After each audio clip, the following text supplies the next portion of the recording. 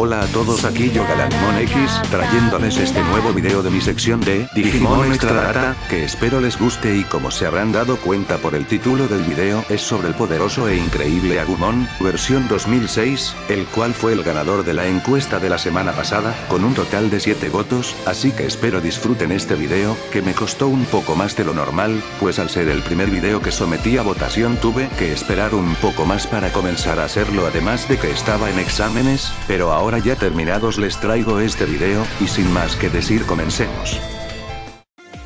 Agumon. Un Digimon con diseño similar al de un Agumon cualquiera, pero con la diferencia que este posee bandas rojas alrededor de sus manos, es una de las variaciones de la especie Agumon, posee un instinto de pelea mayor al de cualquier otro Agumon, llevándolo a buscar pelea contra cualquier otro Digimon, además de poder utilizar el ataque característico de los Agumon, la flama bebé, este puede acumular esa enorme cantidad de calor en su boca para soltar un ataque aún más potente, llamado quemador bebé, realizó su primera aparición en pantalla en el anime de Digimon Data Squad, o también conocido como Digimon Savers, siendo el compañero Digimon de Marcus Daemon, este Digimon guarda un enorme poder en su interior que al desatarlo puede causar grandes destrozos en todo el mundo digital.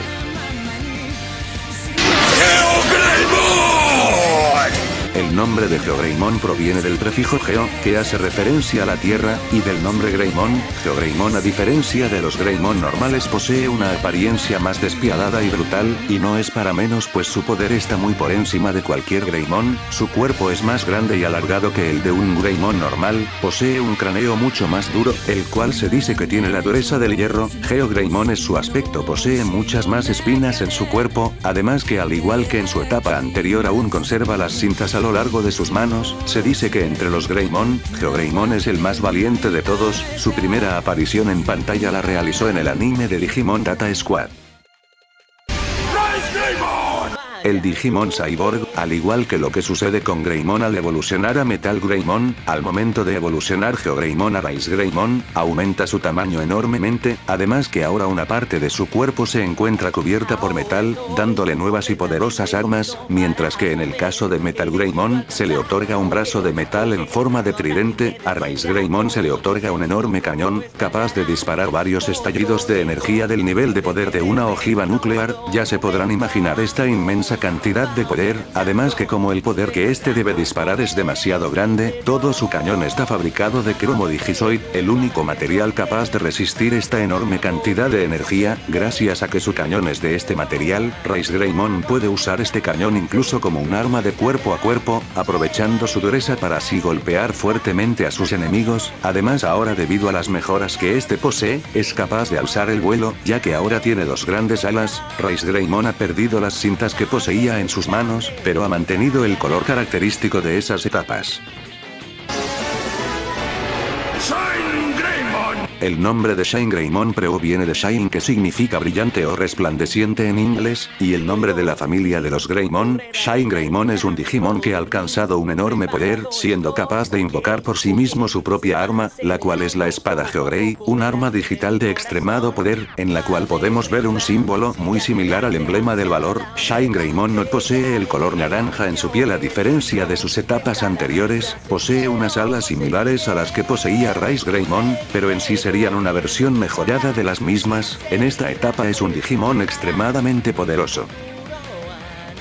Shine Greymon modo ruina. En esta etapa Shine Greymon alcanza un poder increíblemente grande, pues ha alcanzado temporalmente un tipo de modo explosivo, alcanzando el límite de sus habilidades con la ayuda de la energía oscura, pero debido a que utilizó esta energía es incapaz de controlar tal poder, esta fue la primera aparición de un Digimon en modo explosivo, pero no quiere decir que este fuese el primer Digimon en modo explosivo, eso sí, en este modo es extremadamente más poderoso que en su etapa anterior, volviéndolo un Digimon incontrolable capaz de destruir todo a su paso.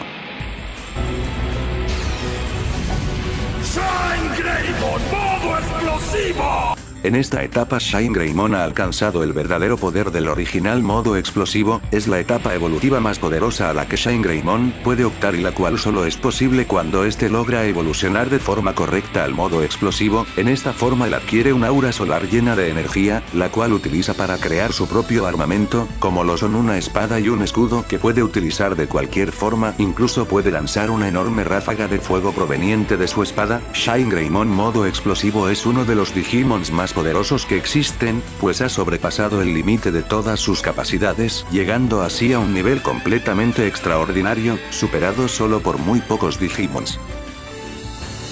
Las emociones humanas dan fuerza a los Digimon. Y los Digimon le dan valor a los humanos. Y basta con que sueñen con un mundo mejor. Ay, ay, ay, ay. Para poder evolucionar más, más, más y mucho más.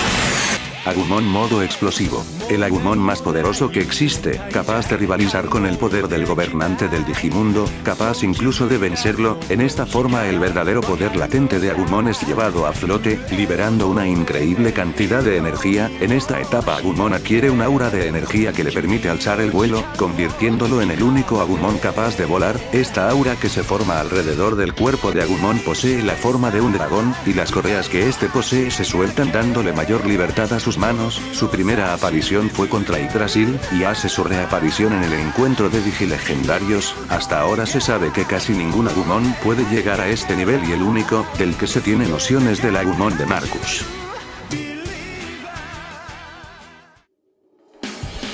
Bueno aquí termina el video, espero les haya gustado, y si les gustó háganmelo saber en la parte de abajo en los comentarios, y suscríbanse para más contenido similar, y si quieren ser saludados en mi siguiente video pídanmelo en los comentarios, y sin nada más que decir, les mando un saludo digital y nos vemos, soy Galanmon X y hasta la próxima.